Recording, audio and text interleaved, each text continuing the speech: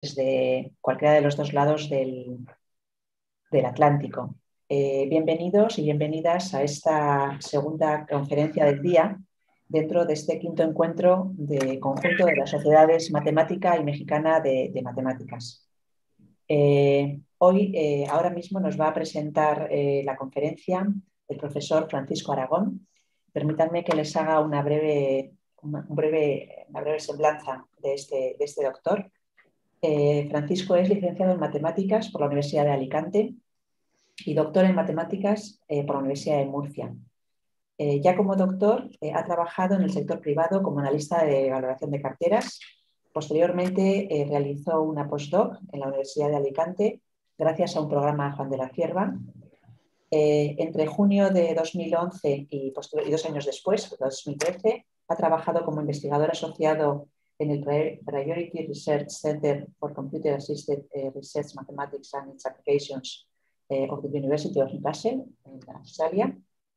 En 2013 eh, se trasladó a Luxemburgo, donde disfrutando de una Marie Curie colaboró con un grupo de bioquímica de sistemas en el Centro de Biomedicina de Sistemas de Luxemburgo. En noviembre de 2014 dejó este grupo de investigación y se reincorporó como investigador Ramón y Cajal a la Universidad de Alicante, donde ahora mismo ejerce como profesor. Bueno, pues ya sin más demora, eh, voy, a dar la voy a dar paso a nuestro conferenciante, el doctor Aragón. Eh, cuando quieras, ya sabes que tienes en torno a 55 minutos para presentarnos la, conferencia. Muchas gracias. Bueno, muchas gracias Araceli por la presentación. Buenos días, buenas tardes a todos. Eh, mi presentación de hoy va sobre algoritmos de desglose en optimización. Eh, es un trabajo conjunto, bueno, llevado a cabo con varios investigadores y principalmente sobre lo que les voy a hablar hoy es, eh, trabajé en ello junto a mi estudiante, primer estudiante de doctorado Rubén Campoy, que lo tienen aquí a la izquierda, y junto a Matt Tam, con quien coincidí en la Universidad de Newcastle en Australia. Eh, me gustaría dedicar esta charla a John Borwin, que fue eh, gracias a quien conocí a Matt y gracias a quien me interesaron los algoritmos de proyección, los algoritmos de desglose y me interesaron muchísimas más cosas en matemáticas. Hice un postdoc allí de, dos años con él. John fue también el director de tesis de Matt y desgraciadamente falleció repentinamente hace cinco años. Este es el esquema de mi charla. Entonces, la charla tiene principalmente dos partes. Eh, la primera es una parte que espero que sea sencilla y asequible para todo el mundo. En él voy a hablar de, creo que son los algoritmos de desglose más fáciles de entender, que son los métodos de factibilidad y algoritmos de proyección. Y en la segunda parte lo que voy a hacer es hablar sobre una generalización de estos algoritmos de proyección mediante los operadores monótonos maximales. Ahí espero que muchos de ustedes se pierdan, lo siento. Eh, el objetivo de esa parte es simplemente que vean la teoría cómo se generaliza, pero luego lo que sí que me gustaría que se quedaran es con el mensaje que eh, voy a lanzar, es que gracias a esta generalización lo que vamos a hacer es obtener eh, algoritmos, por ejemplo, métodos de proyección, especializándolos o sea, volviendo otra vez al caso particular de algoritmos de proyección, vamos a ver cómo esta generalización nos va a permitir obtener nuevos algoritmos. Entonces, vamos a empezar por algo muy facilito, eh, un problema de factibilidad en el que tenemos dos conjuntos. Entonces, vamos a suponer que tenemos dos conjuntos cerrados convexos de Rn. En la primera parte voy a hablar sobre todo en Rn, eh, de vez en cuando se me colará algún espacio de Hilbert. Yo suelo trabajar en espacios de Hilbert, ¿vale? Pero si ustedes no están acostumbrados a espacios de Hilbert, pues quédense todo el rato con que estoy hablando de RN y ya está. La diferencia principal en espacios de Hilbert es que en algunos resultados tendremos convergencia débil, en otros convergencia fuerte y habrá que llevar bastante cuidado. Entonces, bueno, pues eh, nuestro problema, imaginemos que queremos encontrar un punto en la intersección de dos conjuntos cerrados y convexos.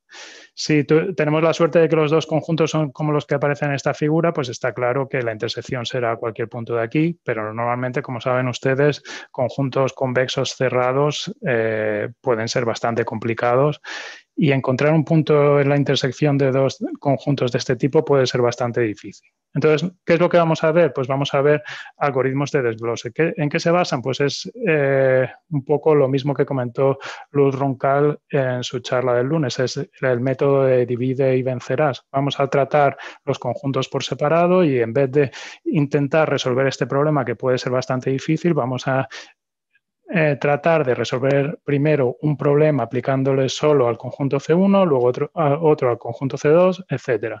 Entonces, ¿qué es lo que vamos a hacer en esta primera parte? Pues vamos a utilizar la proyección. Entonces, eh, les recuerdo que si tenemos un conjunto cerrado y convexo de Rn, pues la aplicación proyección es simplemente el punto más cercano de nuestro punto, del punto que tengamos, del punto, por ejemplo, este X de aquí, que pertenezca al conjunto C. Entonces, claro, como estamos tratando con conjuntos cerrados y convexos, la aplicación proyección va a estar bien definida y va a ser única. Vamos a ver el primer problema de factibilidad, el más sencillito de todos, probablemente. Eh, supongamos que tengamos dos subespacios afines, C1 y C2. Aquí digo cerrados por si estamos en un espacio de Hilbert. Entonces, imaginemos que queremos encontrar un punto en la intersección de estos dos subespacios afines.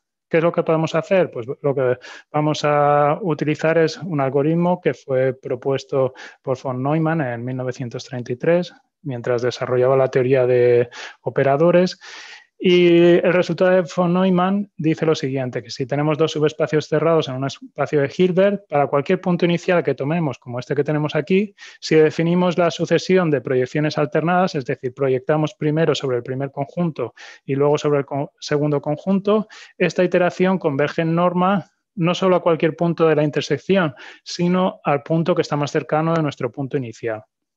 Entonces, por ejemplo, aquí calcularíamos la proyección del primer punto del punto inicial sobre el, primer conjunto, calcularíamos sobre el segundo conjunto, así obtendríamos el primer punto, x1, el segundo punto x2 sería este de aquí y continuaríamos y como pueden ver, pues converge a un punto que está en la intersección de los dos subespacios. En este caso la intersección es única, pero si tuviéramos más de un punto, convergería al punto que está más cerca del punto x0. ¿vale? Sería la proyección sobre la intersección del punto x0. veamos otro problema. Pues imaginemos que estamos interesados en encontrar la solución de norma mínima de un sistema de ecuaciones lineales. Entonces, eh, ¿qué, es lo que queríamos hacer? Pues queremos minimizar la norma de un vector X tal que satisface un conjunto de restricciones, a X igual a B, donde A es una matriz M por N y B es un vector de NRM. Entonces, como bien saben ustedes, si la matriz A es rango fila completa, pues la única solución de este problema viene dada por esta expresión que tienen aquí en el recuadro.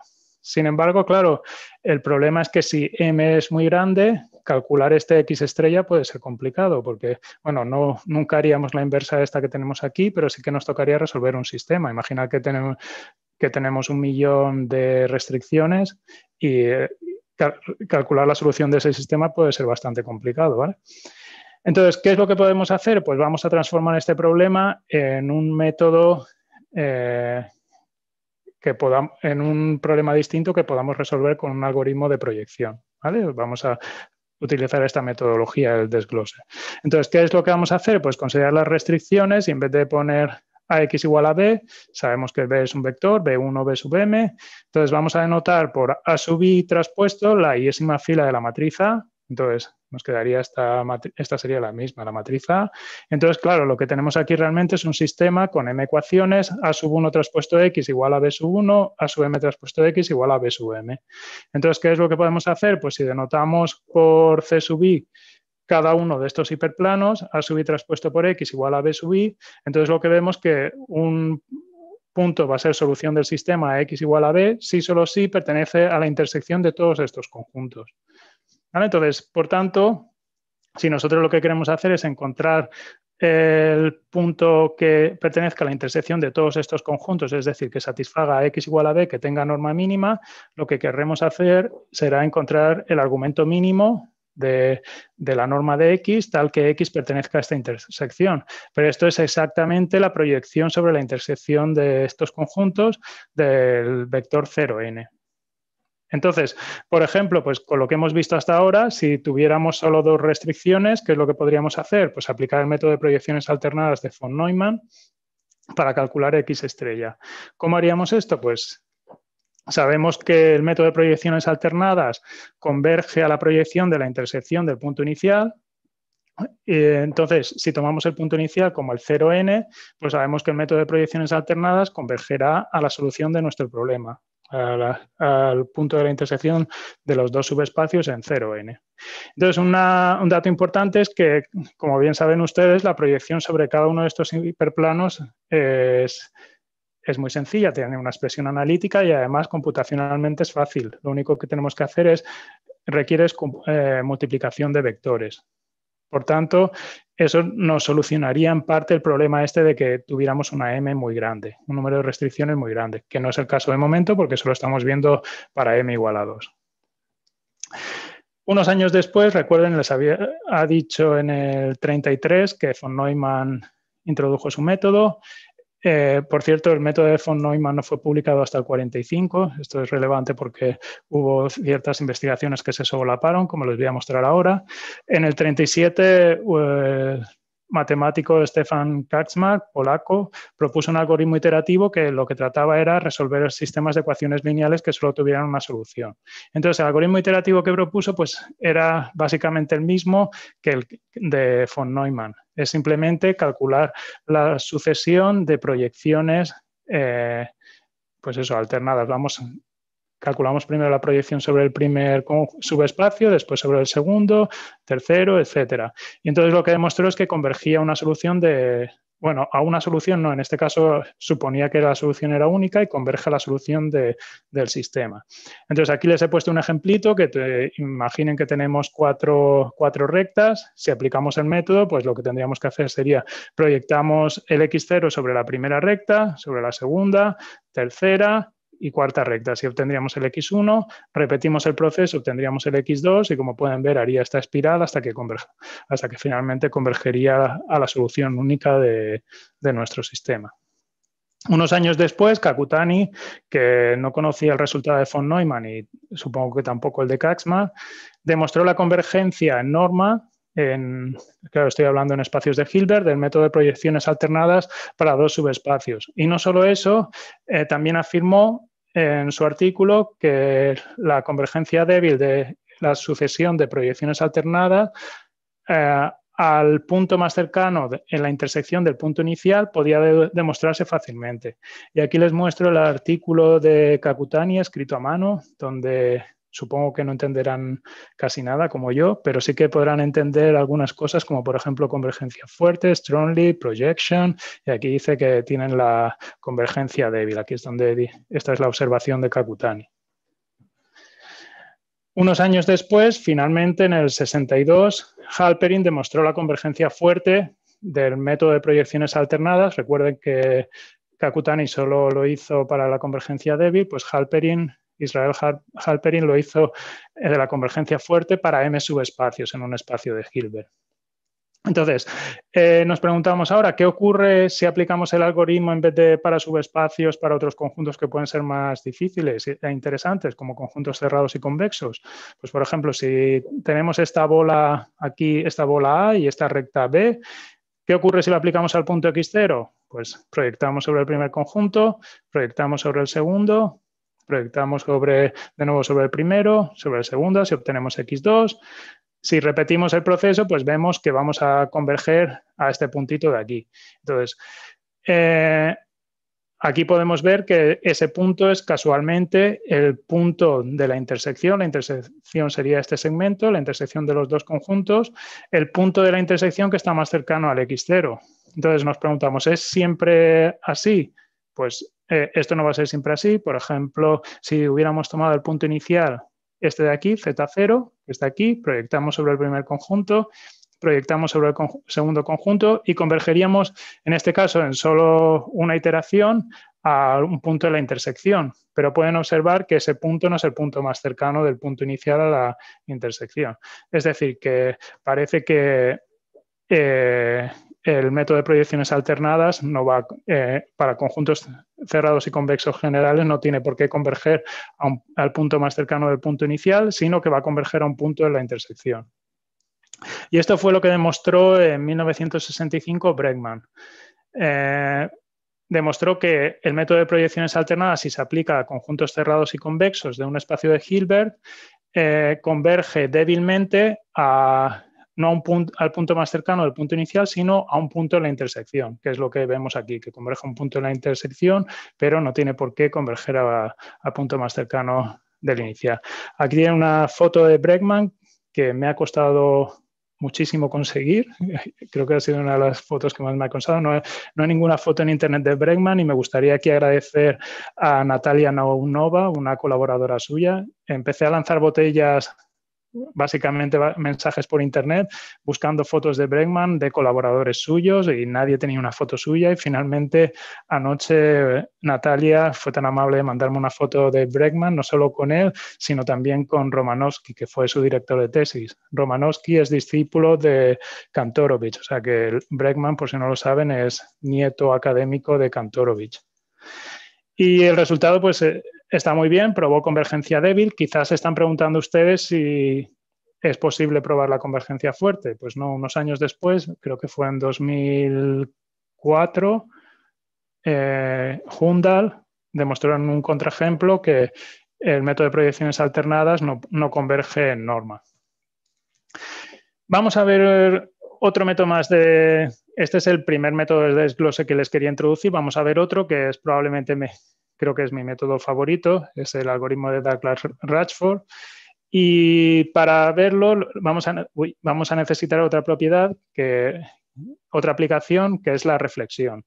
Eh, recuerde, la proyección es simplemente el punto más cercano, pues la reflexión puede ser que no lo, la conozcan menos, pues es simplemente eh, reflejar el punto X con respecto de la proyección. Es decir, la reflexión se define como la proyección y le sumamos la proyección menos el, punto X, es decir, le sumaríamos el vectorcito e, este. Es decir, que nos quedaría dos veces la proyección menos el punto inicial.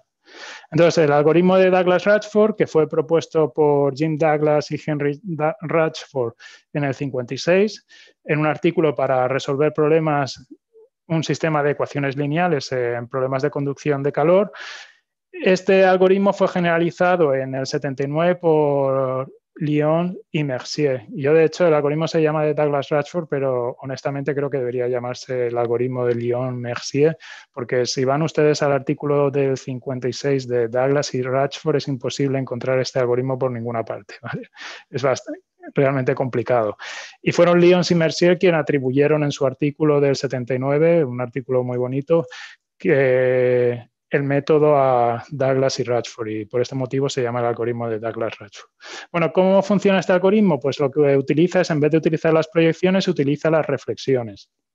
Entonces, ¿cómo funciona? Pues lo que vamos a hacer es, tenemos nuestro punto xk, lo vamos a reflejar con respecto del primer conjunto, lo reflejamos con respecto al segundo conjunto y luego tomamos el promedio con el punto inicial. Por eso les he puesto aquí arriba para que intenten acordarse, refleja, refleja, promedio. ¿vale? reflejar, reflejar y tomar el punto medio. Entonces, por ejemplo, en el, en el ejemplito este que les había puesto antes de la recta y la bola, si hacemos lo mismo que antes, tendríamos que hacer, pues reflejamos con respecto de punto inicial con respecto a la bola al punto inicial, esta sería la reflexión. Ahora reflejamos con respecto a la recta, obtendríamos este punto de aquí. Y ahora, ¿qué tenemos que hacer para obtener el punto x1? Pues obtener el promedio entre esta segunda reflexión y nuestro punto inicial. Y ese sería el punto x1. Entonces, ahora repetiríamos el proceso. Bueno, si reflejamos ahora, ¿qué ocurre? Ahora tenemos el punto x1, está, pertenece al conjunto A. Si reflejamos, como ya estamos en el dentro del conjunto A, pues nos vamos a quedar donde estamos. Ahora reflejamos con respecto de la, de la, recta, obtendríamos este punto de aquí y ahora calcularíamos el promedio y obtendríamos ya finalmente en dos iteraciones un punto que está en la intersección de los dos conjuntos.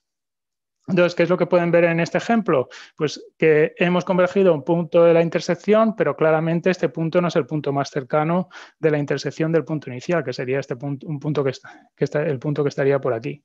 O sea que vemos que el algoritmo de Douglas-Ratchford va a converger a un punto de la intersección, pero no tiene por qué ser el punto más cercano del punto inicial. ¿Por qué funcionan estos algoritmos? Pues bien, a mí me gusta utilizar la teoría de punto fijo, me gustan las constantes de Lipschitz, me gustan básicamente por mi formación, y entonces me gusta analizar la convergencia utilizando la teoría de punto fijo. Entonces, eh, ¿Qué, es lo que vamos a necesitar? Bueno, pues para empezar una simplemente notación, voy a llamar al conjunto de puntos fijos de un operador que tengamos. De, aquí estoy poniendo Rn en Rn, pero nos valdría lo mismo si fuera de un espacio de Hilbert en sí mismo. Y el conjunto de puntos fijos de un operador que tengamos, pues serán aquellos x tales que t de x la imagen de t de x será igual a x. Entonces, ¿qué es lo que vamos a hacer? Pues para analizar nuestros algoritmos con eh, la teoría del punto fijo, pues vamos a utilizar la iteración de Picard, es decir, vamos a iterar con el, operador t que tengamos aquí. El punto xk más 1 se definirá como t de xk. Entonces, en los dos algoritmos que les he mostrado, el de proyecciones alternadas, pues el operador t sería muy sencillo, sería simplemente la composición de todas las proyecciones la proyección de C sub 1 compuesta con la de C sub 2, así hasta C sub n. Entonces, ¿qué es lo que necesitamos para probar la convergencia? Pues vamos a necesitar dos ingredientes. Primero, bueno, eh, vamos a necesitar que, que el método este iterativo converja a un punto fijo y luego otro ingrediente importante que vamos a necesitar para que nuestro algoritmo funcione es que los puntos fijos del operador que estemos considerando pues sean puntos que nos proporcionen una solución del sistema.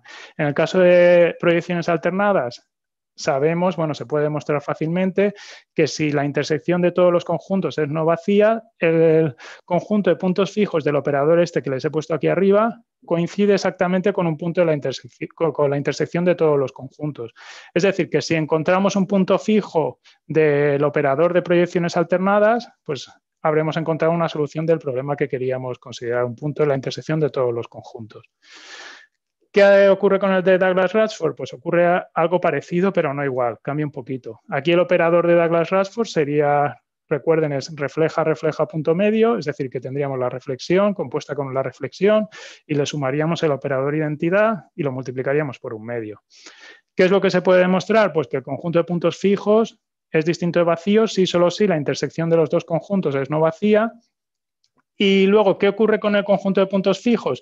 Pues en este caso, los puntos fijos del operador de Douglas Radford no nos van a proporcionar puntos en la intersección de los dos conjuntos. Pero, sin embargo, vamos a poder obtener fácilmente puntos en la intersección de los dos conjuntos proyectándolos sobre el primer conjunto. Es decir, si tenemos un punto fijo, si X es un punto fijo del operador de Douglas Radford, si lo proyectamos sobre el primer conjunto, vamos a obtener un punto en la intersección de los dos conjuntos, es decir, una solución de nuestro problema. Vale, perfecto. Pues, eh, ¿cómo probamos que esto converge? Pues lo primero que probablemente les venga a ustedes a la mente sea el principio de contracción de Han-Banach, que dice que si tenemos un operador que es una contracción, es decir, que si existe una constante lambda de forma que el operador es Lipschitz con esta constante lambda menor estricto que 1, ¿vale? Es importante que sea menor estricto que 1. Entonces, el operador tiene exactamente un punto fijo y para cualquier punto inicial, el algoritmo que generaríamos iterando con este operador converge y no solo converge, sino además con tasa lineal a, nuestro punto fijo, al punto fijo este que tiene el operador, ¿vale? Que en este caso sería único. ¿Qué ocurre con la proyección y la reflexión? Con los operadores estos de aquí, ¿son contracciones? Pues vamos a ver. Tenemos una proposición aquí que dice lo siguiente. este resultado no es muy difícil de probar. Es que si tenemos un conjunto cerrado y convexo, la proyección es firmemente no expansiva. ¿Qué significa que sea firmemente no expansiva? Pues es esta desigualdad que les he puesto aquí.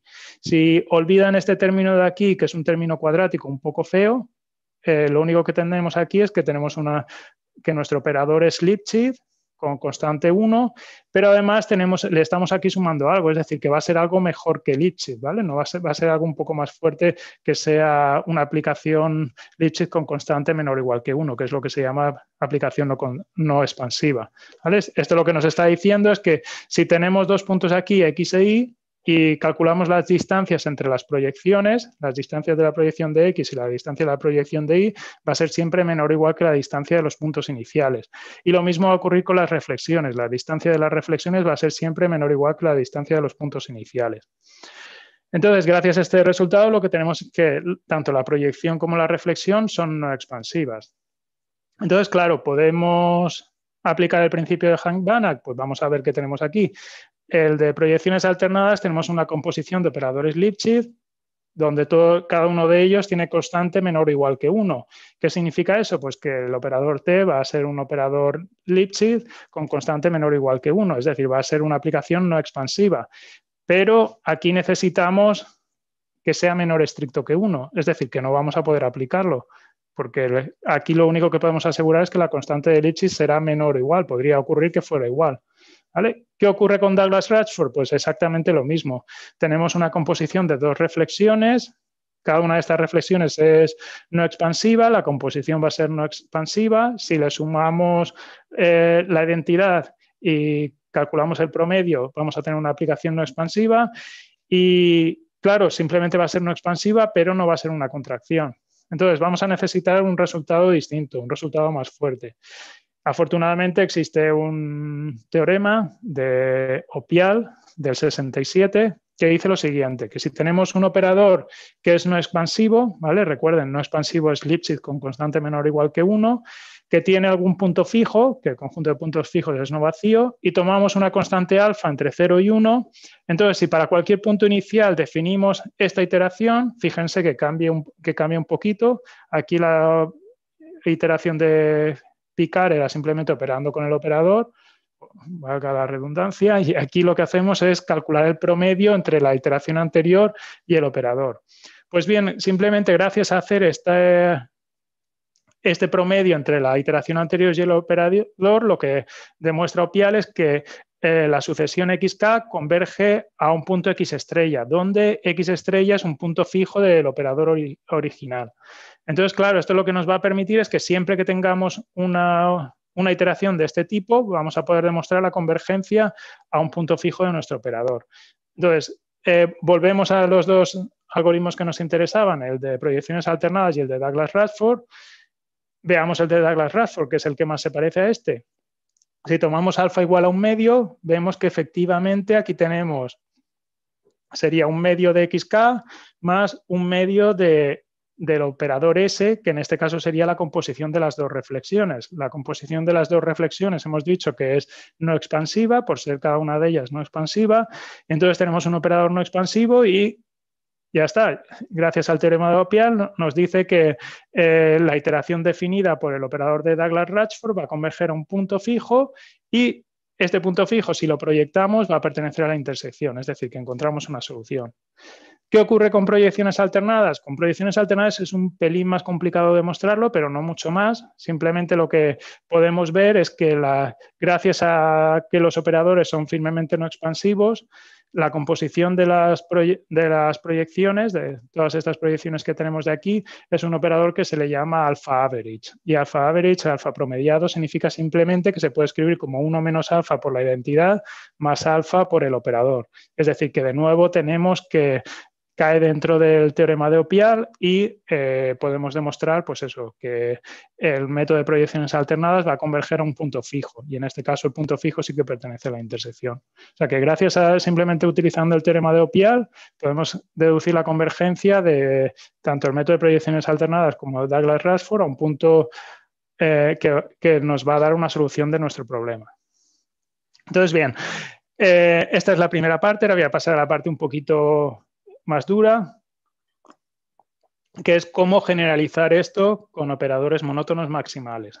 Imagino que muchos de ustedes no conocerán lo que es un operador monótono maximal. ¿Qué significa un operador monótono maximal? Pues bien, eh, para empezar vamos a empezar por monótono.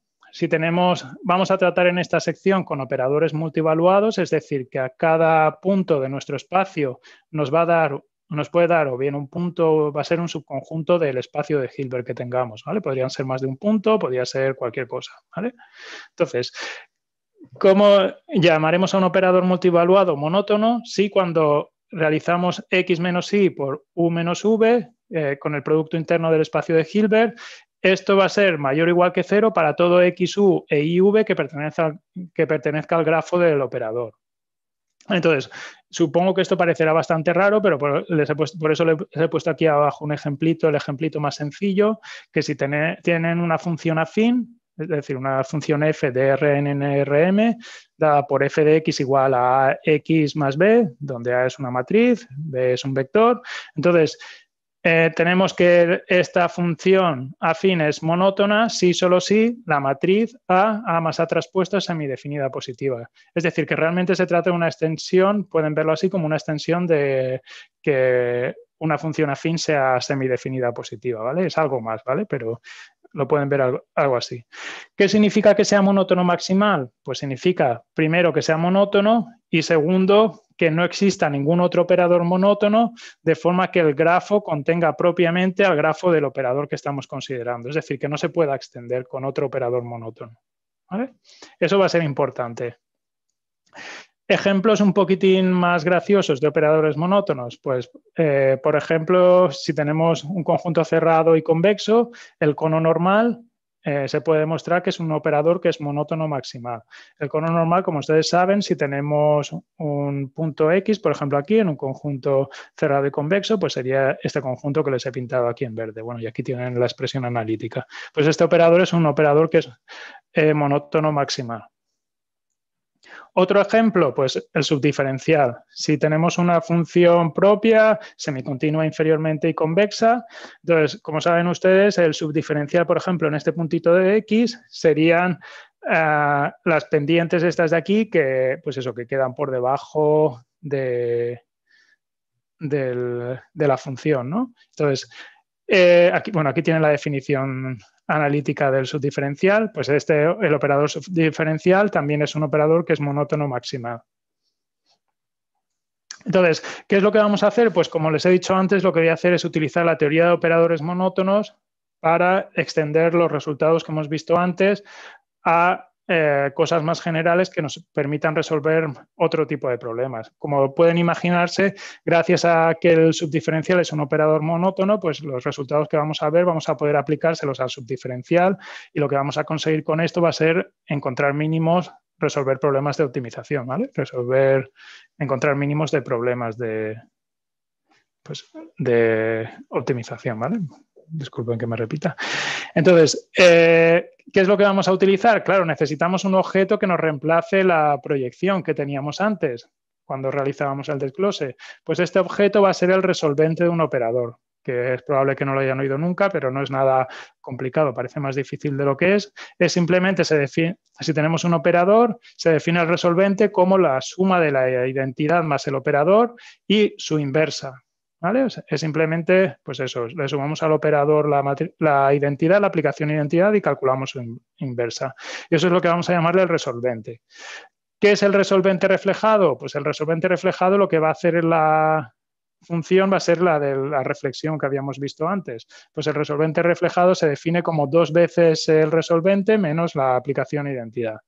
Entonces, eh, vamos a ver por qué es esto una generalización de lo que habíamos visto antes. Pues si tenemos un conjunto cerrado y convexo C, se puede probar fácilmente que el resolvente del cono normal, el cono normal que hemos visto antes, pues el resolvente es exactamente la proyección. O sea que, es decir, que si tomamos como nuestro operador A el cono normal, que hemos visto que es un operador monótono maximal, pues lo que obtenemos es la proyección. Es decir, que cualquier cosa que veamos para operadores monótonos maximales y aplicamos el resolvente, pues obtenemos la proyección, que era justo lo que hemos visto en la primera parte de la charla. Otro ejemplo, pues si, ¿qué ocurre si tomamos el subdiferencial de una función convexa? Pues en este caso lo que se puede ver es que el resolvente del subdiferencial coincide con el operador proximidad de nuestra función que es simplemente pues eso, el argumento mínimo de la función más un medio por la norma de x menos u al cuadrado. ¿vale? Es el operador de proximidad que se utiliza bastante en optimización. Entonces, pueden ver pues eso, que va a, tener bastante utilidad el resolvente este porque lo que nos va a permitir pues va a ser cubrir varios casos, por ejemplo, el operador proximidad, el operador proyección y bueno, y aparte muchas cosas más. Simplemente les he puesto dos ejemplos. Entonces, algunas propiedades principales de, los operadores monótonos. Pues Minty probó que si un operador es monótono maximal, si solo si el rango de la identidad más el operador es todo el espacio. Entonces, ¿qué es lo que va a pasar? Pues que si tenemos un operador monótono maximal, bueno, eh, bueno, lo que va a ocurrir va a ser que, claro, si el rango de, la identidad más el operador es todo el espacio, pues cuando, calculemos la inversa, eh, no vamos a tener el problema para hacerlo en ningún punto. La inversa, es decir, el resolvente va a estar bien definido para cualquier punto del espacio. Entonces, por ese es uno de los motivos por los que vamos a trabajar con operadores no solo que sean monótonos, sino también que sean monótonos maximales. Vale, pues una segunda propiedad que va a ser muy interesante para nosotros es que si tenemos un operador que es monótono maximal, el resolvente es firmemente no expansivo, es exactamente lo mismo que la proyección, ¿vale? O sea que hemos generalizado y seguimos teniendo la misma propiedad que nos permitía probar la convergencia y además el, el resolvente reflejado es no expansivo. Entonces, ¿qué es lo que vamos a poder hacer? Pues aplicar exactamente lo mismo que habíamos hecho antes, el teorema de Opiad, para probar convergencia de un montón de algoritmos, pero sustituyendo en vez de las proyecciones, pues los resolventes. Y una tercera propiedad que es muy interesante es que el conjunto de puntos fijos, como siempre les digo, nos va a interesar saber cuáles son los puntos fijos de nuestra operación, pues son los ceros del operador. Es decir, que si calculamos los ceros del, perdón, los puntos fijos del resolvente, pues son exactamente los ceros del operador. Entonces, eh, primer algoritmo, creo que uno de los más sencillos, pues es el del algoritmo de punto próximo, que probablemente muchos de ustedes conozcan que fue generalizado, bueno, fue propuesto por Martinet y generalizado y dado la fama por Rockefeller. Y lo que dice es que si tenemos un operador monótono maximal, que el conjunto de los ceros de este operador es no vacío, pues entonces si calculamos esta sucesión de aquí con los resolventes, esta sucesión converge débilmente a un punto que está en los ceros del operador. Es decir, que los resolventes me va a permitir calcular los ceros de un operador. Entonces, supongo que se estarán preguntando ustedes si no están ya aburridos de operadores monótonos, porque además el nombre también es monótono, ¿vale? Eh, si no están aburridos, se estarán preguntando, ¿para qué queremos calcular un cero de un operador? Pues, por ejemplo, si tomamos el subdiferencial, que tenemos una función convexa, entonces eh, como saben ustedes, si el conjunto de ceros del subdiferencial coincide con el argumento mínimo de la función. Entonces, si conseguimos encontrar un cero del subdiferencial, pues lo que habremos conseguido será un minimizador de nuestra función. O sea que el algoritmo este de punto próximo, en teoría, podríamos utilizarlo para minimizar funciones. ¿Y por qué digo en teoría? Pues porque en la práctica calcular el resolvente del operador, por ejemplo, resolvente del subdiferencial, a no ser que tengamos una función sencilla, va a ser bastante complicado. O sea que en la práctica este algoritmo va a ser difícil. Entonces, ¿qué es lo que podemos hacer? Pues de nuevo utilizar la misma metodología que les he dicho antes, que es la metodología del desglose. Si tenemos una función que podemos separar en dos partes, pues lo que vamos a hacer es intentar aplicar a cada parte por separado eh, pues o bien resolventes o aplicar, intentar resolver los problemas por separado, el divide y vencerás. Entonces, por ejemplo, si intentamos resolver un problema de optimización convexa, donde tenemos una función objetivo que es convexa y una restricción que es convexa, entonces podemos transformar este problema utilizando la función indicatriz en un problema sin restricciones. Sería la función indicatriz está definida como cero si el punto pertenece al conjunto y más infinito si no pertenece. Entonces, por tanto, este problema teóricamente es equivalente a este de aquí, donde minimizamos esta función, que de nuevo es una función convexa, por ser suma de funciones convexas. Entonces, ¿qué es lo que sabemos? Pues por el principio de Fermat sabemos que un punto X estrella será solución del problema, si solo si, pues X estrella pertenecerá, será un cero del subdiferencial. Entonces, ¿qué es lo que ocurrirá? Pues si tenemos que X estrella es un cero de la suma de los subdiferenciales, ¿vale? Que esto no es exactamente lo mismo que esto de aquí, ¿vale? Si tuviéramos la suerte de, que, de encontrar un punto en la suma de los subdiferenciales, como el subdiferencial de la suma de, perdón, como la suma de los subdiferenciales en el punto X estrella está contenido en el subdiferencial de la suma, pues lo que tendríamos sería que X estrella es una solución. Es decir, que si somos capaces de encontrar ceros en la, en la suma de los subdiferenciales, lo que vamos a encontrar va a ser soluciones de nuestro problema. Entonces, esto en particular eh, podemos aplicarlo eh, aquí teníamos, bueno, aquí teníamos la función indicatriz, el subdiferencial de la función indicatriz es simplemente el cono normal. Y si tuviéramos, por ejemplo, la suerte de que nuestra función tuviera dominio completo, y fuera eh, diferenciable, pues lo que tendríamos es que en este caso tendríamos una igualdad y el subdiferencial de la suma de las funciones que estamos considerando sería el gradiente de nuestra función más el cono normal. Entonces, eh, ¿qué es lo que vamos a estar interesados? Pues lo que nos va a interesar va a ser calcular ceros de la suma de operadores monótonos maximales, que es lo que hemos visto aquí. Si aquí tenemos un operador monótono maximal, aquí tenemos otro, entonces lo que vamos a intentar va a ser calcular ceros de esta suma de dos operadores monótonos maximales. Entonces, eh, a partir de ahora lo que vamos a tratar es eso, dos operadores monótonos, tenemos dos operadores monótonos maximales A y B y vamos a intentar buscar ceros en la suma de estos dos operadores. Entonces, ¿qué es lo que vamos a utilizar? Pues la metodología del desglose, lo que les decía. Vamos a intentar aplicar por separado a alguna cosa cada uno de estos dos operadores. Entonces, eh, ¿Qué hemos visto antes? Pues que el conjunto de puntos fijos del resolvente del operador coincide exactamente con los ceros de, la suma de los operadores, que es lo que queremos calcular. Entonces, ¿qué es lo que podríamos hacer? Pues intentar calcular los puntos fijos de este resolvente. ¿Cuál es el problema? Pues que normalmente el resolvente de la suma de dos operadores monótonos maximales es difícil de calcular. ¿Qué es lo que podemos hacer? Pues eh, podemos utilizar un algoritmo de, de desglose para calcular el resolvente de la suma. Entonces, eh, uno de los algoritmos de desglose que podemos utilizar pues es el de Lyons y Mercier. Este fue realmente el algoritmo que propusieron Lyons y Mercier en el 79. Ellos no lo hicieron para conjuntos convexos, sino lo hicieron aún más generales para operadores monótonos maximales. Entonces, propusieron un algoritmo que lo que permite es calcular ceros de la suma de operadores monótonos maximales. Si tenemos dos operadores monótonos maximales cuyo, que tienen algún cero y tomamos un alfa en 0 y 1, entonces lo que probaron es que la sucesión está aquí, que si recuerdan es la misma de Douglas Radford, aquí un poquito más general, porque lo que hacíamos era antes era reflejar, reflejar punto medio, pues ahora estamos haciendo un promedio con la iteración anterior.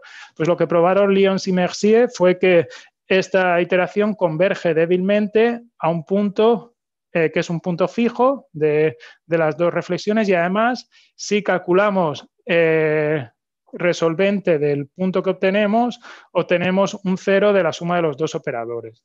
Y, bueno, iba a decir un poquito después, no, pero fue bastante después, en 2011, Zweiter lo que probó es que además no solo eh, el resolvente de, de X estrella pertenece al, es un cero de la suma de los operadores, sino que el resolvente de xk converge débilmente al resolvente de x estrella. Es decir, que cuando vayamos calculando estos resolventes de aquí, lo que vamos a obtener es una aproximación de un cero de la suma de los operadores.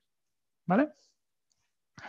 Bueno, supongo que, eh, no sé si me están siguiendo, pero se va complicando un poquito, pero quiero que vean que es un poco, la idea es exactamente la misma que antes, ¿vale? Estamos cambiando proyecciones y reflexiones por resolventes, pero todo lo demás es exactamente lo mismo.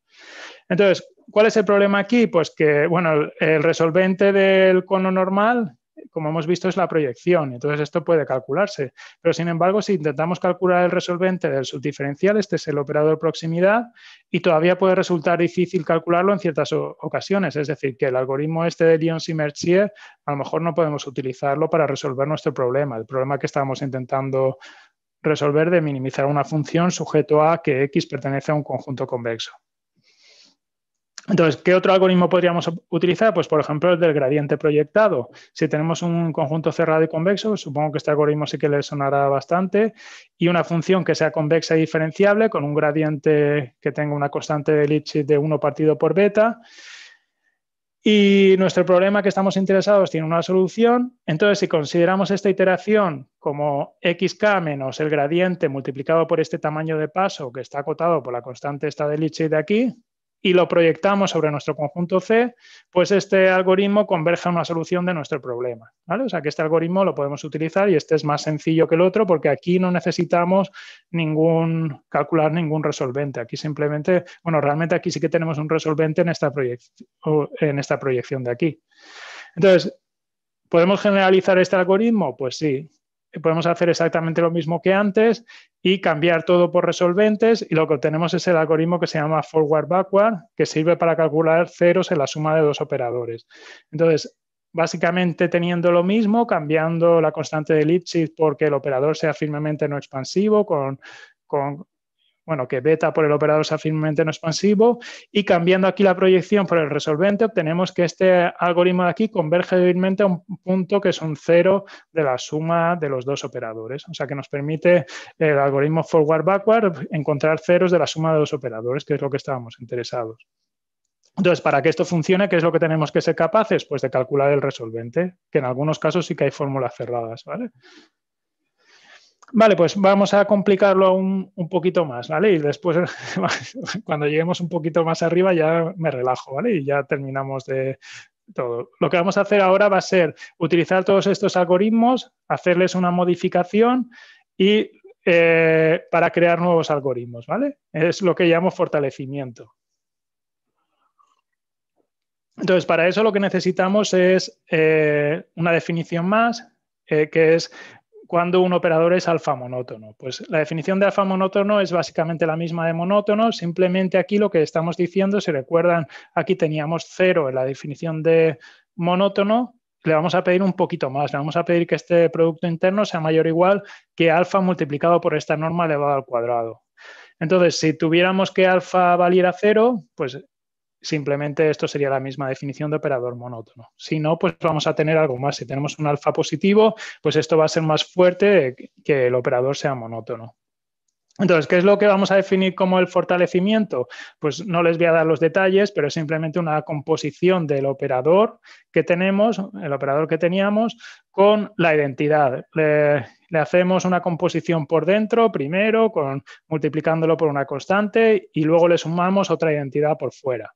Y luego, además, vamos a considerar una perturbación del operador, una perturbación que le llamamos interna si les interesa esto, lo mejor es que se vayan al artículo y, lo miren porque es imposible que nadie se entere de esto escuchándome en esta charla, ¿vale? Soy consciente. Simplemente recuerden que lo que estamos haciendo es cambiar un poquito el operador. Estamos modificando el punto en el que lo aplicamos y lo componemos con la identidad por dentro y por fuera. ¿vale? Entonces, ¿para qué hacemos esto? ¿Para qué mareamos el operador? Pues porque gracias a un resultado de Mindao y Fan, si tenemos un operador A que es alfa monótono, pues bueno, no es solo sí, tenemos un sí solo sí, un operador va a ser alfa monótono, sí solo sí, el operador este fortalecido es z alfa más sigma monótono. Es decir, que lo que conseguimos aquí como pueden, lo que les he dicho antes, mientras mayor es esta constante alfa que tengamos aquí del operador, pues va a ser mejor, va a ser mejor numéricamente, vamos a tener una propiedad más fuerte.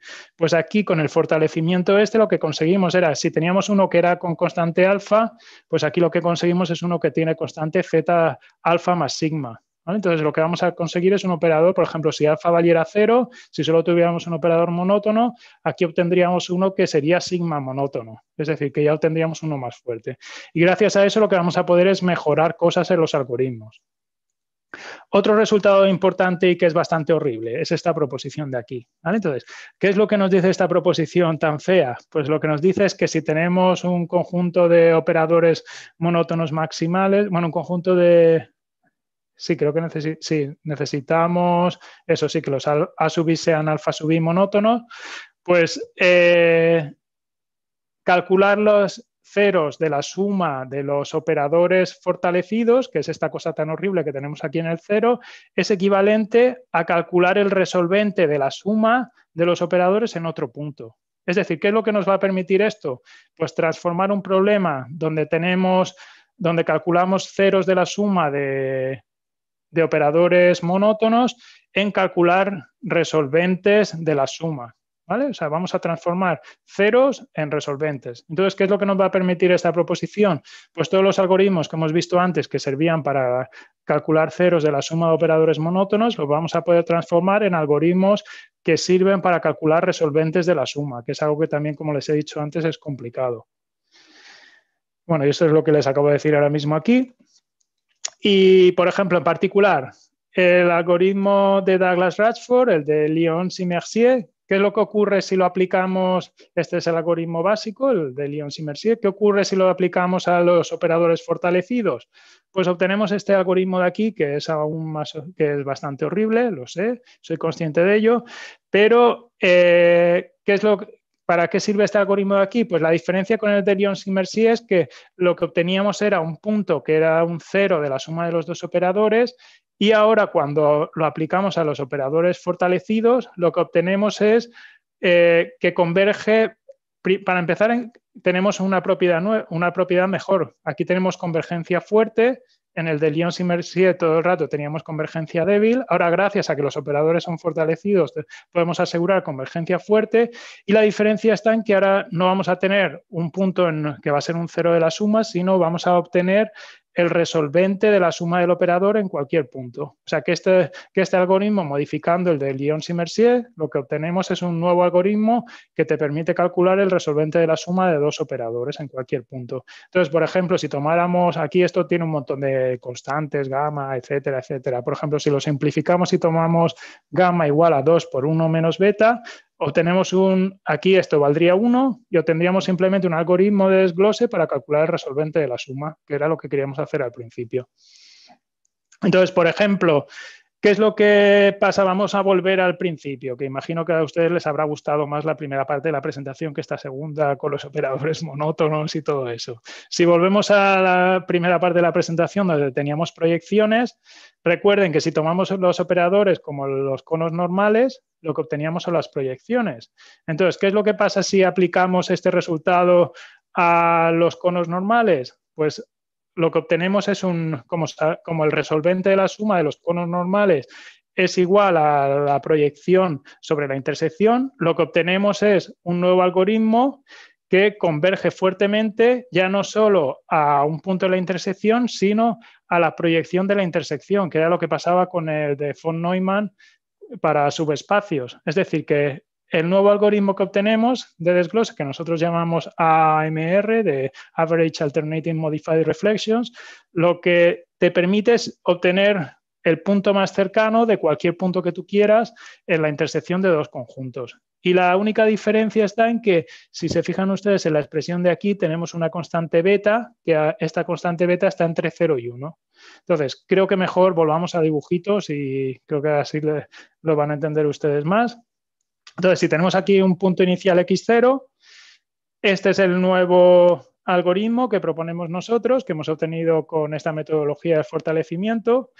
¿Qué es lo que eh, veíamos en el resultado anterior? Pues que la proyección sobre el primer conjunto, de, no del punto fijo que obtenemos, sino al punto fijo le sumamos un Q, pues eso coincide con la proyección sobre la intersección de, del punto Q. Es decir, si nosotros aplicamos este es el resultado del algoritmo, aquí hemos tomado beta igual a un medio, aquí tenemos nuestro Q, este es el punto fijo, si al punto fijo le sumamos Q, obtenemos este, lo proyectamos sobre el conjunto A, que es algo que podemos hacer, por ejemplo, si tenemos dos bolas, es muy fácil calcular la proyección, pues fíjense ustedes que obtenemos el punto de la intersección de los dos conjuntos A y B, que está más cerca de Q.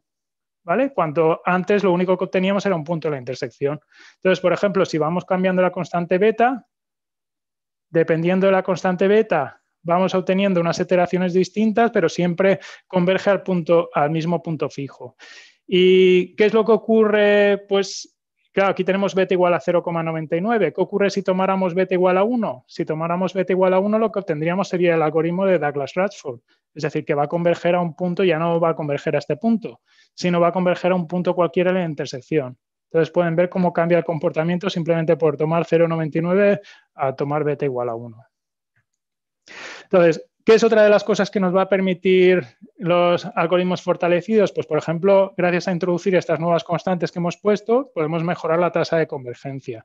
Entonces, aquí una de las cosas que estudiamos en otro artículo fue la tasa de convergencia de nuestro algoritmo eh, comparado con, con otros métodos de proyección. Entonces, aquí tienen en verde nuestro algoritmo para, por ejemplo, para dos rectas.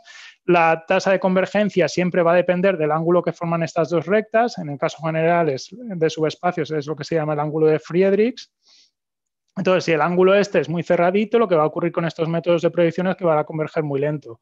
Y si el ángulo es grande, pues eh, van a converger enseguida. El de proyecciones alternadas va a converger en nada y el nuestro también. Entonces, lo que probamos en ese otro artículo fue que entre todos los métodos distintos de proyección que podíamos considerar, el nuestro era el que tenía mejor tasa de convergencia de todos. La tasa de convergencia, desde luego, depende del ángulo de Friedrich, ¿vale? O sea que habría que calcular la tasa de convergencia, encontrar la mejor constante, que la obtuvimos, poder, obtuvimos una expresión de la mejor constante, esta beta que apareció en el algoritmo, dependiendo del ángulo de Friedrich, y eh, esta línea verde es la de nuestro algoritmo. Aquí tienen en azul Douglas Ratchford, que es bastante mayor. Esta es la tasa de convergencia lineal. Luego aquí tienen proyecciones alternadas. Bueno, y esta es otro, una, modificación de proyecciones alternadas.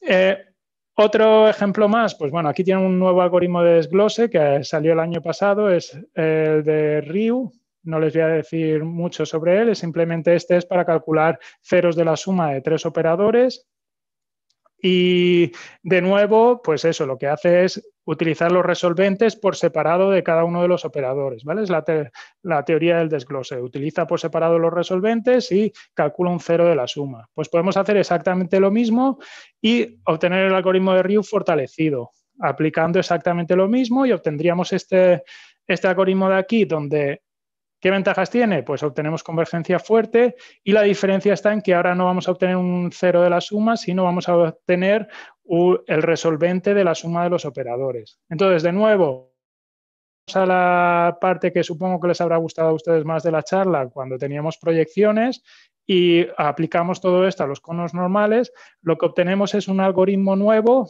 para obtener un punto la intersección, o sea, el punto más cercano la intersección de tres conjuntos. Por ejemplo, aquí tenemos tres bolas y si aplicamos este algoritmo, pues la iteración me parece que es esta de aquí, eso es, esta que está en verde, esta es la U sub k, pues esta iteración U sub k converge a un punto que, está que es la proyección de la intersección del punto este Q. Aquí el punto Q es un punto arbitrario en el espacio y nosotros queremos calcular en la intersección de estos tres conjuntos cuál es el punto más cercano.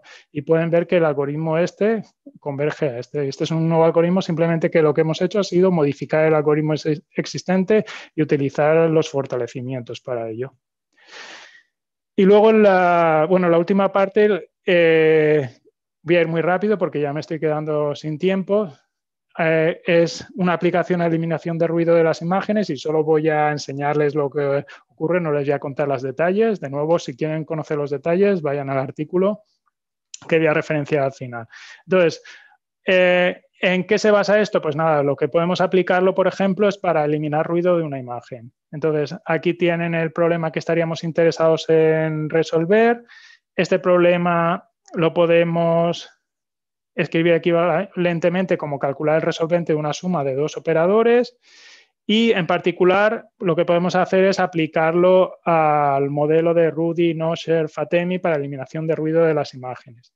entonces, en ese caso, lo que querríamos resolver es este problema de aquí, donde aquí phi es el operador, bueno, la versión isotrópica de la norma TV, ¿vale? Si lo conocen, les sonará y si no, no se estarán enterando ustedes de nada. Esto sirve para eliminar ruido de las imágenes y básicamente lo que hacemos es como suavizar la imagen y nosotros lo que queremos hacer es, pues, ponderar Q aquí en este problemita sería nuestra imagen que tenemos, la imagen con ruido, y lo que queremos hacer es que nuestra imagen se parezca a la imagen que teníamos con ruido, pero gracias a este operador de aquí de la derecha lo que vamos a hacer es suavizarlo. Y desde luego, claro, dependiendo de esta constante eta que tengamos aquí, pues vamos a suavizarlo más o menos. Tendrá más peso eh, parecerse al operador, a la imagen inicial o menos. Y bueno, y aquí tenemos un conjunto C que lo que nos va a decir es que los píxeles de la imagen están entre 0 y 1. Entonces, lo que les decía, si tomamos para distintas constantes etas, pues vamos a tener distintos, distintas soluciones del problema. Esto es, eh, cuando tomamos eta igual a 1, aquí en este caso, si eta es igual a 1, lo que tiene mucho peso es esta, parte de la función objetivo. Si aumentamos el eta, lo que va a tener más peso es la imagen inicial. Por ejemplo, aquí este es eta igual a 20, ya se parece casi a la imagen que tomamos inicialmente con ruido y ha eliminado poco ruido. O sea, por ejemplo, aquí yo creo que la mejor elección sería eta igual a 12, que ha eliminado el ruido, pero se sigue pareciendo a la imagen. No es un exceomo como el que hizo aquella señora con el cuadro, ¿vale? Y nada, y aquí les enseño, esta es mi última diapositiva, les enseño el resultado de cuatro imágenes distintas. Vuelvo a la mano inicial, que no sé si se dieron cuenta, esa es una mano que está en la Universidad de Alicante y es el símbolo casi de la universidad. Entonces lo que hicimos fue aplicar uno de los algoritmos fortalecidos, el nuestro, a estas imágenes para eliminar el ruido. Y aquí simplemente no les quiero aburrir con tablas de, tiempos, etcétera, simplemente les enseño el resultado. Este es el, esta es la imagen con ruido, este es el resultado del, algoritmo fortalecido que utilizamos, que era un, método primal dual, que no les he enseñado, pero está en el artículo. Este es el algoritmo mejor que encontramos en la literatura y esta era la imagen original, sin el ruido. Esto es Göttingen. Aquí es donde estuvieron, bueno, Matt Tam, mi coautor, estuvo allí realizando un postdoc. Rubén también estuvo allí realizando una estancia. Esta es la estatua allí de Göttingen que supongo que muchos de ustedes reconocerán. Y Sydney, hemos estado los tres en Sydney, los tres coautores, eh, cada uno en un momento distinto, y Boston estuvo Rubén. Entonces, por eso utilizamos estas cuatro imágenes. Y lo que pueden ver aquí es que el algoritmo fortalecido proporciona una reducción de ruido bastante asombrosa. Por ejemplo, si compras la última, que es la que más resolución tiene, pues es casi igual que la imagen original. Y nada, y termino con la bibliografía principal de mi charla. Si quieren encontrar cualquiera de los artículos les aconsejo que vayan a mi página web, que está un poco antigua, está un poco fea, pero tienen, pueden descargarse todas mis presentaciones recientes y todos los artículos. Y esta charla está principalmente basada en estos dos que les he puesto aquí en negrito, que ha sido aceptado pues el jueves pasado, creo que fue, eh, el de fortalecimiento. Y nada, y eso era todo. Muchas gracias por su atención. Eh, bueno, muchas gracias también a ti, eh, Francisco. Eh, creo que nos quedan un par de minutos para, en principio tenemos un par de cuestiones que nos han llegado a través de YouTube. Una primera pregunta de Rubén Martínez Avendaño que nos pregunta, Douglas Batchford, ¿se puede aplicar en más de dos conjuntos? ¿Importa el orden en que se aplique? Eh, me encanta que me haya hecho esta pregunta. No sé, no sé quién ha sido Rubén, no era Rubén Campoy, ¿no? Porque... No, no, Rubén Martínez Avetaño. Ah, vale, vale, porque si no parecería que la tengo preparada, porque es que tenía más transparencias. Entonces una de ellas era, explicaba cómo, eh, cómo aplicar Douglas Rashford a más de dos conjuntos. Entonces, ¿qué es lo que se hace cuando tenemos más de dos conjuntos? Pues es utilizar una reformulación de tierra en el espacio producto. Es una reformulación sencillita. Eh, aparece explicada en nuestros artículos si quieren verla. Lo único que se hace es coger los conjuntos y formular el espacio producto de los conjuntos, eh, considerar en vez del espacio de Hilbert original el espacio producto, que de nuevo es un espacio de Hilbert, y si sabemos calcular las proyecciones sobre cada uno de estos conjuntos, es igualmente fácil calcular la proyección sobre cada uno de estos dos conjuntos de aquí. O sea que lo que hacemos es, si tenemos m conjuntos, en vez de calcular, eh, aplicar el algoritmo de Douglas Radford a los m conjuntos, lo que haríamos sería pues, aplicarlo a estos dos conjuntos C y D. Porque si intentamos hacer lo mismo que hacíamos con proyecciones alternadas con tres conjuntos de Douglas Radford, esto no funciona. De acuerdo. Tenemos una segunda pregunta de Renato Iturriaga, que nos pregunta, eh, ¿no expansividad más algo de compacidad da puntos fijos? No expansividad y más algo de compacidad. es que depende de lo que sea el algo. O sea, más algo de compacidad no creo, porque, por ejemplo, si tenemos, si utilizamos como operador menos, por ejemplo, tomamos t de x igual a menos X, es que no sé muy bien a qué se refiere con algo de compacidad, que, que pertenece. Lo que pregunta es multiplicar el operador por lambda menor que 1, obtener un punto fijo y luego hacer tender lambda a 1, ¿funciona? Eh, multiplicar por lambda menor que 1. Obtener un punto fijo y luego obtener, hacer tender lambda a 1. Esa es su propuesta. Eh, así en vivo y en directo. La lambda por t, lambda por t de x, y luego hacer, obtener un punto fijo y hacer lambda tender a 1.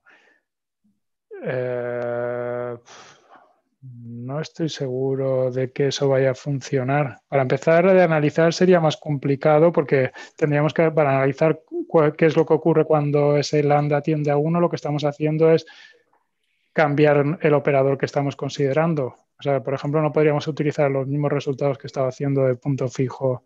No lo sé, no lo sé, tendría que pensarlo. Bueno, es una pregunta interesante. Bueno, y ya aunque estamos fuera de tiempo, veo que no hay más preguntas ni por el chat nuestro, ni por eh, YouTube. A mí me gustaría, ya a nivel de curiosidad, personalmente, si me han gustado las, las eh, primeras slides de, los conjuntos, me ha gustado la que más, la última, claramente. Entonces, eh, te he escuchado que habías, que habías utilizado el método primal dual eh, a nivel de curiosidad, ¿con qué tipo de software trabajáis? ¿En qué, en qué programáis? Ah, nosotros en Python normalmente porque es lo más fácil. O sea, soy un fanático bastante de Python. Tengo que reconocer que C es más rápido. O sea, hay algunos, algunos de los trabajos que hemos hecho más numéricos. Matt, por ejemplo, sí que conoce algo de C y cuando hemos intentado comparar con otros algoritmos, sí que hemos tenido que recurrir a C porque va mucho mejor, pero si no, todo lo hacemos en Python porque es lo más sencillo y, funciona bastante bien. Sí, sí, claramente. Eh, y ya la última pregunta, he visto que habías puesto eh, uno de los problemas, la minimización de una función f sobre un conjunto eh, cerrado y convexo. ¿Habéis hecho algo sobre conjuntos no convexos? Ah, sobre, sobre conjuntos no convexos lo que hemos hecho ha sido aplicar el algoritmo de Douglas Radford a problemas no convexos y ahí todo se complica. Todo es... No convexos en general. No, no convexos no, problemas específicos. Eh, o sea, en problemas no convexos lo que hay es algún resultado de convergencia local del algoritmo. Lo que ocurre con los no convexos y con el algoritmo de Douglas Radford es que sorprendentemente funciona y converge globalmente en muchos problemas que son, por ejemplo, de tipo combinatorio. Uno de mis problemas favoritos es eh, resolución de sudokus. Se puede formular la resolución de un sudoku de varias formas. La última, la que conseguimos más exitosa, fue como un problema de coloreado de grafos, algo parecido a lo que ha comentado Jasmine en la primera charla, pero distinto. Pues se puede reformular el sudoku como un problema de coloreado de grafos, lo podemos reformular como un problema de programación semidefinida positiva, aplicar el algoritmo de Douglas Radford. El problema que tenemos no es convexo, hay una restricción que no es convexa porque aparece un rango por ahí y sorprendentemente funciona, o sea, converge para, de momento, con esa formulación hemos sido capaces de encontrar ningún sudoku en el que el algoritmo no converja. Y es sorprendente porque la, otra de las cosas que hemos hecho teóricamente ha sido intentar estudiar algunos casos no convexos donde podamos probar convergencia. Hemos probado en algún caso un semiespacio con puntos, hemos conseguido en algún caso así una esfera y una recta, se puede probar algo, pero el gap, la distancia entre lo que se puede probar en la teoría y en la práctica es sorprendente. Por ejemplo, un artículo reciente de Veit de un eh, físico de Cornell, eh, sobre el que eh, un alumno ha hecho un TFG ahora, es sobre el entrenamiento de redes neuronales utilizando el algoritmo de Douglas Radford. O sea, es un, de nuevo un problema no convexo donde el algoritmo funciona muy bien, converge siempre y ni idea por qué funciona eso. O sea que es un tema donde cualquiera que haga algo allí, sí, sí, es una magia. Bueno, pues aunque ya estamos bastante fuera de tiempo. Muchas gracias de nuevo, Francisco. Y ahora sí que los interesados eh, nos podemos eh, trasladar, ya nos informan de que el cibercafé está disponible. Así que, bueno, pues eh, gracias de nuevo. Ha sido un placer. Y... Muchas gracias a todos.